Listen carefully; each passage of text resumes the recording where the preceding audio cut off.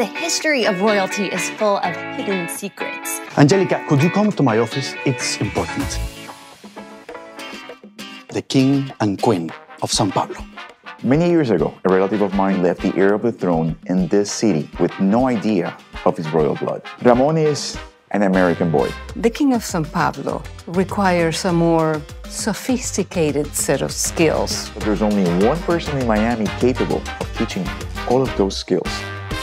When do I start? You're Ramone?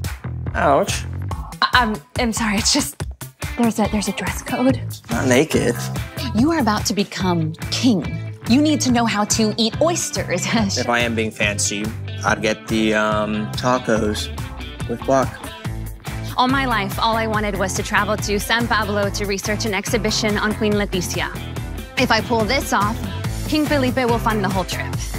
Can we give this another shot? Is that a yes or a no or a maybe? The coronation ceremony concludes with a famous tradition in a Viennese waltz. One, two, three, two, two, three. Who taught you to count? You can count to three blind mice if you want. One, two, three, two, two, three. Huh. Yeah.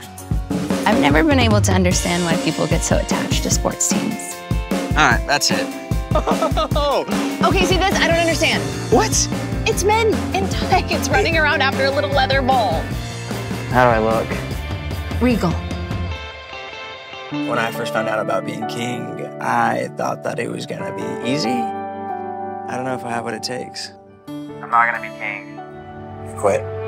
Come on, get your shoes on. This is your heritage. Your great great grandfather, to be precise. You just never got a chance to show what you can do. I believe in you.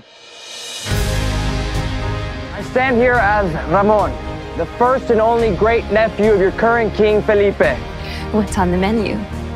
12 courses of the finest cuisine in the kingdom. If not, we're getting tacos.